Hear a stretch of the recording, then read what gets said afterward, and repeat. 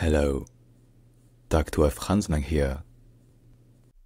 This Polish politician and labor leader co-founded the trade union Solidarity, and he later served as the president of Poland. In Polish, his name is pronounced Lech Wałęsa. Lech Wałęsa. Lech Wałęsa. Lech Wałęsa.